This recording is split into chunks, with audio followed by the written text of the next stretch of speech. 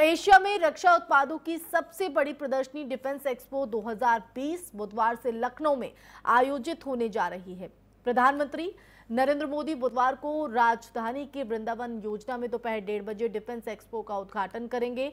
रक्षा उपकरणों के कारोबारियों के इस समागम में 70 से ज़्यादा देशों की 128 कंपनियाँ अपने उत्पादों और तकनीकों का प्रदर्शन करेंगी। इनमें आठ सौ छप्पन भारतीय और एक सौ बहत्तर विदेशी कंपनियाँ हैं। डिफेंस एक्सपो के दौरान रक्षा सौदों से जुड़े करीब 200 से ज़्यादा करार होने का अनुमान है। चार दिवसीय आयोजन में उनतालीस देशों के रक्षा मंत्री भी शिरकत करेंगे। तो रक्षा मंत्री राजनाथ सिंह ने मंगलवार को डिफेंस एक्सपो के बारे में जानकारी दी। उन्होंने कहा कि भारत जैसा देश लंबे वक्त तक आयातित रक्षा उपकरणों और हथियारों पर निर्भर नहीं रह सकता।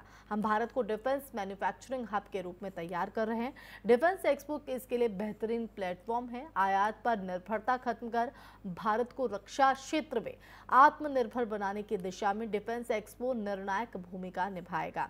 तो इस डिफेंस एक्सपो को लेकर तमाम तैयारियाँ कर ली गई हैं। रक्षा मंत्री राजनाथ सिंह पहले से ही वहाँ पर मौजूद हैं और आज पीएम मोदी इस डिफेंस एक्सपो 2020 का उद्घाटन करेंगे।